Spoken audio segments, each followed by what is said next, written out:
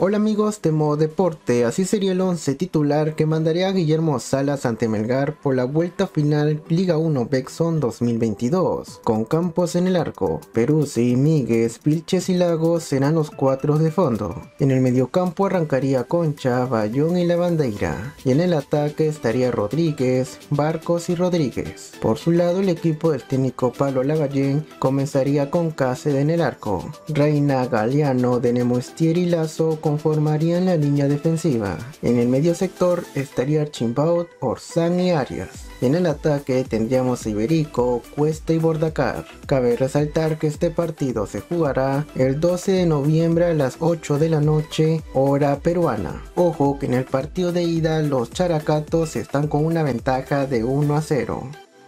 Si te gustó el video, apóyame con un pulgar arriba, suscríbete activando la campanita que es totalmente gratis y nos vemos en un próximo video.